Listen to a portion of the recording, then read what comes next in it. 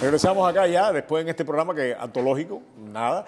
Eh, no voy a agregar mucho más, eh, ya lo que, que hemos dicho, pero bien, eh, en, el- en las, en las próximas horas eh, vamos a ver más de Hillary Clinton y más de su salud. ¿Va a afectar esto la campaña de noviembre? Bueno, tiene posibilidad de afectar esto. tiene que recuperar rápido. Se, se tiene que recuperar ra- rápido, absolutamente. sí. Tú estuviste con Podesta, que es el jefe de la campaña hoy. ¿Cuáles son los planes a medio plazo? Los planes a seguir, ella va a coger unos días de descanso, eh, va, canceló, creo que eran dos o tres eventos que tenía en, en California, Eh, creo que va a seguir los eventos que tenía en, en, ¿cómo se llama? en Nevada, y después va a continuar su esto, y la vamos a ver a ella, a Tim Kaine y a muchos de las campañas, los vamos a ver muy, muchas veces aquí en Miami, y esperemos que un día podamos traer a alguien aquí a que hable en nombre de la campaña, que sea uno de ellos dos.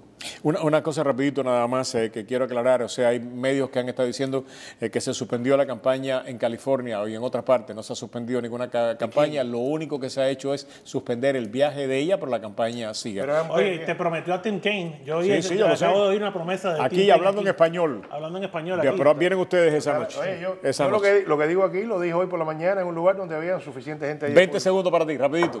Vamos a tener una fiesta la noche de los debates en la Universidad de Miami gracias a Rudy Fernández y la buena gente de la Universidad de Miami. Si tienen interés, que le manden un Twitter a Roberto. ¿Cómo es el Twitter tuyo, Roberto?